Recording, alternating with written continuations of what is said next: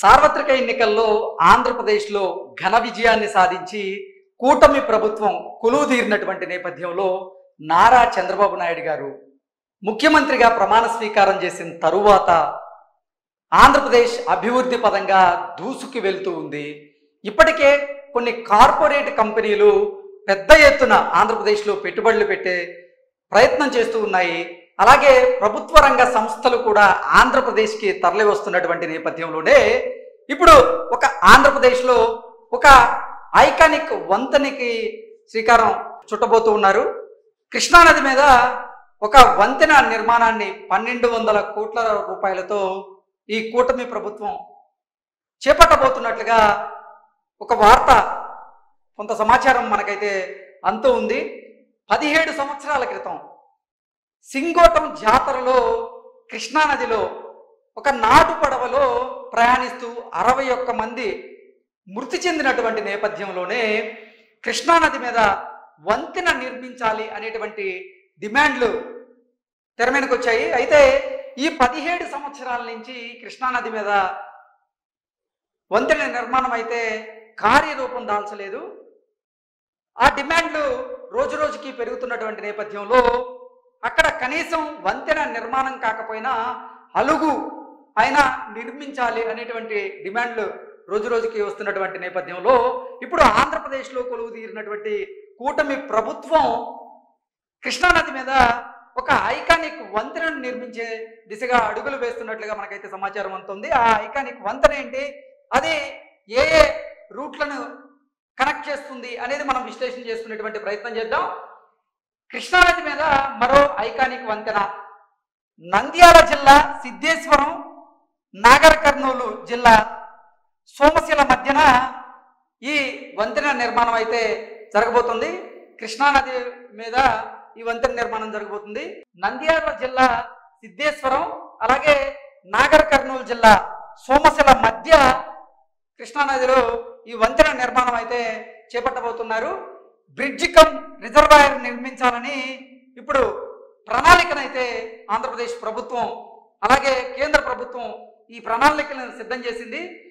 ఇక్కడ ఈ కృష్ణానది మీద బ్రిడ్జి కమ్ రిజర్వాయర్ రెండు కలిపి నిర్మించాలనేటువంటి ప్రణాళికలో ఇప్పుడు ఆంధ్రప్రదేశ్ ప్రభుత్వం కూట ప్రభుత్వం అయితే ఉంది. హైదరాబాద్ మీదుగా కడప తిరుపతి వెళ్ళే వారికి ఈ వంతెన ద్వారా ఎనభై కిలోమీటర్ల దూరం తగ్గబోతున్నట్లుగా మనకైతే సమాచారం ఉంటుంది. హైదరాబాద్ మీదుగా కడప తిరుపతి వెళ్ళే వారికి ప్రత్యేకంగా ఎనభై కిలోమీటర్లు ఈ వంతెన నిర్మాణం ద్వారా తగ్గేటువంటి అవకాశం అయితే ఉంది. నెక్స్ట్ తెలంగాణలోని కల్వకుర్తి నుంచి ఏపీలోని నంద్యాల వరకు నూట డెబ్బై ఐదు కిలోమీటర్ల జాతీయ రహదారి ఈ జాతీయ రహదారికి కూడా అటు కేంద్ర ప్రభుత్వం అలాగే ఇటు ఆంధ్రప్రదేశ్లో కొలుదీరినటువంటి కూటమి ప్రభుత్వం ప్రణాళికలను సిద్ధం చేసి ఆ పనిగా అడుగులు కూడా ముందుకు వేస్తూ ఉంది. భారత మాల ప్రాజెక్టులో భాగంగానే నేషనల్ హైవే నిర్మాణానికి కేంద్ర ప్రభుత్వం అనుమతి అయితే ఇప్పటికే తెలియజేసింది. ఈ వంతెన నిర్మాణానికి కూడా భారత మాల ప్రాజెక్టులో భాగంగానే ఈ నేషనల్ హైవేతో పాటుగా ఈ వంతెన నిర్మాణానికి కూడా కేంద్ర ప్రభుత్వం అయితే అనుమతి ఇచ్చినట్లుగా తెలుస్తుంది. మనం ఇంతకు ముందు చెప్పుకున్న దాని ప్రకారంగా ఈ తీగల వంతెన నిర్మాణానికి పన్నెండు వందల కోట్ల రూపాయలు వెచ్చించేందుకు కేంద్ర ప్రభుత్వం ఆమోదం తెలిపినట్లుగా ఇప్పుడు ఆంధ్రప్రదేశ్లో ఉన్నటువంటి కూటమి ప్రభుత్వం కూడా ఒక నిర్ణయం తీసుకొని పన్నెండు వందల కోట్ల రూపాయలు ఈ తీగల వంతెన నిర్మాణానికి వాళ్ళు కేటాయించినట్లుగా కూడా మనకు తెలుస్తూ ఉంది. కల్వకుర్తి నుంచి కొల్లాపూర్ వరకు పూర్తయినటువంటి రోడ్డు. ఇందాక మనం చెప్పుకున్నట్లుగా ఇక్కడ మనం చూసుకున్నట్లయితే కల్వకుర్తి నుంచి నంద్యాల వరకు నూట డెబ్బై ఐదు కిలోమీటర్ల జాతీయ రహదారికి ప్రణాళిక సిద్ధం చేసినటువంటి నేపథ్యంలో ఇప్పటికే కల్వకుర్తి నుంచి కొల్లాపూర్ వరకు ఈ రోడ్డుకు సంబంధించినటువంటి పనులైతే పూర్తయ్యాయి. కొల్లాపూర్ నుంచి సిద్ధేశ్వరం ఆత్మకూరు మీదుగా నంద్యాల వరకు పనులు పెండింగ్లో ఉన్నాయి. ఆ పనులు కూడా త్వరితకెత్తిన పూర్తి చేయాలని అటు కేంద్ర ప్రభుత్వం అలాగే ఇటు రాష్ట్రంలో కొలువు తీరినటువంటి కూటమి ప్రభుత్వం కూడా ఒక నిర్ణయానికి వచ్చి ఇప్పటికే అధికారులకు ఆదేశాలు జారీ చేసినట్లుగా కూడా మనకైతే వార్తలు అందుతూ ఉన్నాయి. సిద్ధేశ్వరం టు సోమశిల మధ్య ఈ తీగల వంతెన నిర్మాణానికి ఆంధ్రప్రదేశ్ ప్రభుత్వం ప్లాన్ చేస్తూ ఉంది.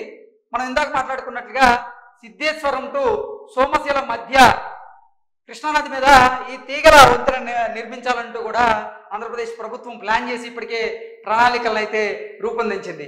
సిద్ధేశ్వరం వంతెన కోసం రెండు వేల ఇరవై మూడు సంవత్సరం కేంద్ర బడ్జెట్లో ఐదు వందల కోట్ల రూపాయలు కేటాయించినప్పటికీ రెండు వేల ఇరవై మూడో సంవత్సరంలో ఎటువంటి పనులైతే జరగలేదు. ఈ పదిహేడు సంవత్సరాలుగా అంటే ఈ సింగోటం జాతరలో అరవై ఒక్క మంది నాటు పడవలో ప్రయాణిస్తూ వారు మృతి చెందినటువంటి నేపథ్యంలోనే ఈ పదిహేడు సంవత్సరాల నుంచి కృష్ణానది మీద వంతెన నిర్మించాలనేటువంటి డిమాండ్లు పెద్ద ఎత్తున వచ్చినప్పటికీ ఇది కార్యరూపం దాల్చలేదు. రెండు వేల ఇరవై మూడవ సంవత్సరంలో కేంద్ర బడ్జెట్లో దీనికోసం ఐదు వందల కోట్ల రూపాయలు కేటాయించినప్పటికీ రెండు వేల ఇరవై మూడవ సంవత్సరంలో అంటే జగన్మోహన్ రెడ్డి ముఖ్యమంత్రిగా ఉన్నటువంటి సమయంలో ఆ పనులైతే అసలు జరగనే జరగలేదు అన్నట్లుగా మనం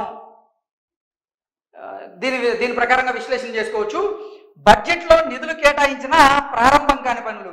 అంటే రెండు వేల ఇరవై మూడులో కేంద్ర బడ్జెట్లో ఈ తీగల వంతెన నిర్మాణానికి ఐదు వందల కోట్ల రూపాయలు కేటాయించినప్పటికీ జగన్మోహన్ రెడ్డి ముఖ్యమంత్రిగా ఉన్న సమయంలో పనులైతే అసలు ప్రారంభమే కాలేదు అన్నట్లుగా మనం విశ్లేషణ చేసుకోవచ్చు. కూటమి ప్రభుత్వం అధికారంలోకి రావడంతో సిద్ధేశ్వరం వంతెన నిర్మాణంపై ఫోకస్. మనం ఇందాక మాట్లాడుకున్నట్లుగా ఆంధ్రప్రదేశ్లో కూటమి ప్రభుత్వం కొలువుదీరిన తర్వాత అలాగే చంద్రబాబు గారు నాలుగోసారి ముఖ్యమంత్రిగా ప్రమాణ స్వీకారం చేసిన తరువాత ఆంధ్రప్రదేశ్ అభివృద్ధి పరంగా దూసుకువెళ్తూ ఉంది.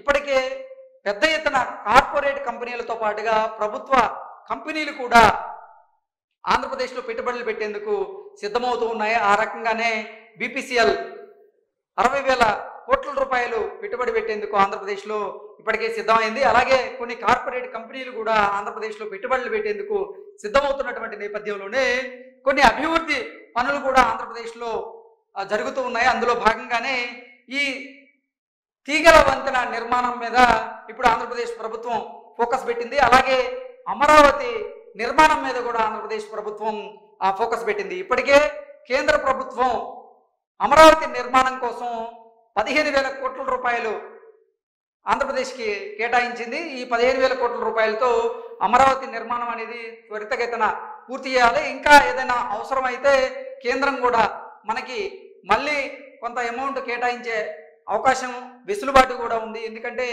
విభజన హామీలు ఏవైతే ఉన్నాయో ఆ విభజన హామీల ప్రకారంగా రాష్ట్ర విభజన జరిగినప్పుడు ఆంధ్రప్రదేశ్ ప్రభుత్వ ఆంధ్రప్రదేశ్కి ఎటువంటి విభజన హామీలు అయితే ఇచ్చారో వాటి ప్రకారంగా రాజధాని నిర్మాణం కోసం కూడా కేంద్ర ప్రభుత్వం మనకి కొంత బడ్జెట్ను కేటాయించాల్సిన అవసరం ఉంది. అందులో భాగంగానే ఇప్పటికీ పదిహేను వేల కోట్ల రూపాయలు కేటాయించింది.